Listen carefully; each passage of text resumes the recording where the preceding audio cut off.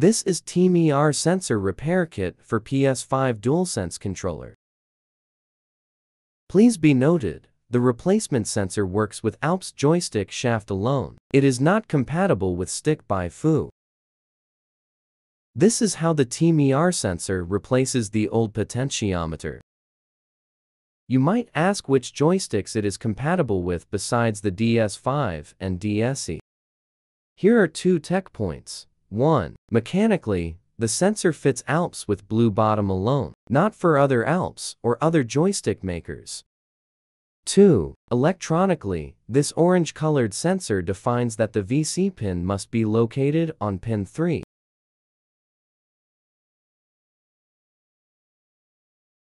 8 TMR sensors. Desoldering copper plate and thin wire for unlocking DSE module. This special tweezers was customized for splitting the potentiometer. Holder for DSE PCBA. Multi-gauge braid wire performs better than traditional desoldering wicks. Flux tube. The Teflon wire works as a gauge to check the hole is standard 1.0 mm.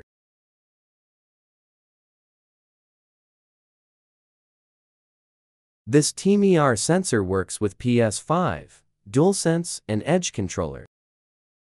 I'm demonstrating the operation on DSE stick module. Split the sensor with the tweezers. Hold the PCBA on the desk. Apply some flux. Resolder the three joints. Put on the heating plate. Desolder the three pins at one time.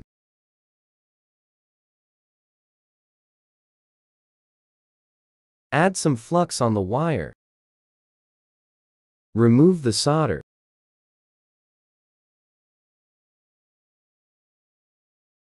Cut the Teflon wire. Check the holes are 1.0 mm. Clean the PCB with alcohol.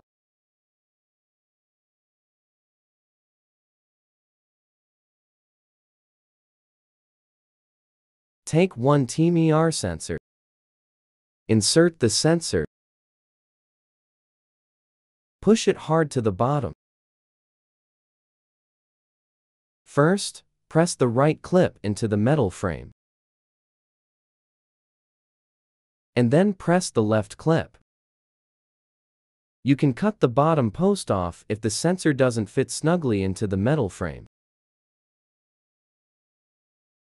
Make sure the sensor fits snugly with the metal frame with no gap.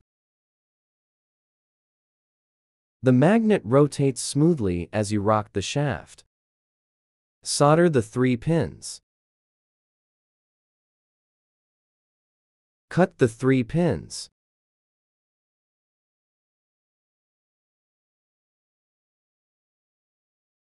Connect the two pads to unlock the DSE module. Please ignore the step for original DS5. Cut the wire, that is about 16 millimeters long. Tin the wire. Solder the wire.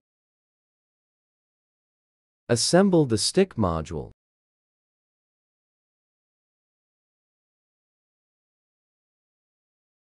Insert the TMR module in the right slot.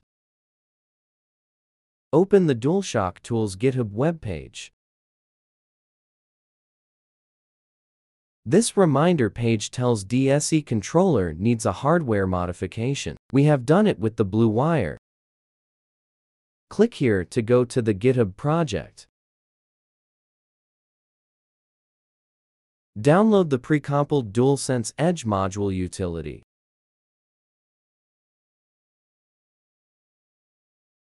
Run the application. Both modules currently are locked. Now click to unlock the modules. The right module is successfully unlocked. Go back to DS Tools GUI. Again. The joystick does not work fine. Its center is not at center, and the outer curve is not good. First, we follow the steps to calibrate its center.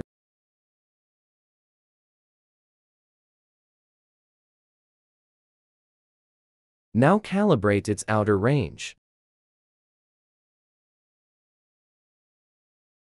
You can manually set the data for the center and ranges. Set the data of center on D-pad step by step.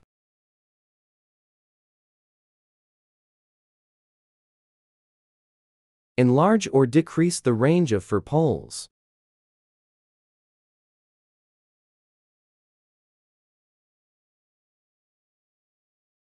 I have done the calibration. It works really fine in DS Tools. Save the changes. I go to Gamepad Tester for the final check.